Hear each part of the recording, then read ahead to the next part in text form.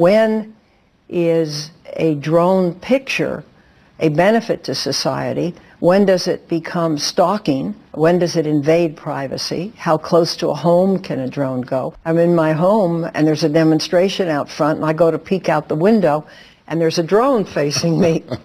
well, whoever was running it turned it around quickly and it crashed. Senator Dianne Feinstein is very concerned about her personal privacy, but thinks it's just peachy keen for other American citizens to be spied on.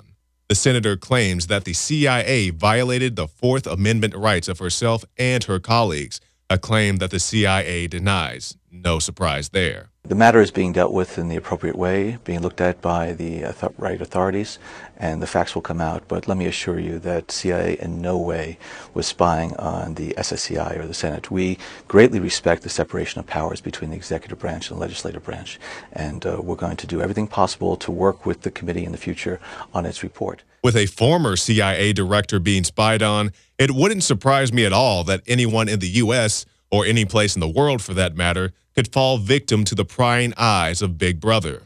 And the CIA isn't the only alphabet agency in on the fun. New Snowden documents show that the NSA is pretending to be Facebook in order to infect computers with tracking malware. This, of course, is to say nothing of the government spying via webcams, laptops, Xboxes, and cell phones. So let this be a reminder to the powers that be. Suppression of rights may start at the bottom, but it always creeps towards the top.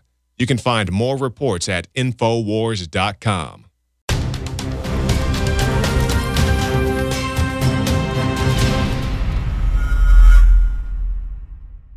Celebrate the spirit of freedom and liberty upon which our nation was founded at InfoWarsShop.com. Molon Lave is ancient Greek for come and take it. This popular design combines both classic Greek Spartan imagery with modern M16 assault rifles. Now available in women's tees and proudly made in the USA.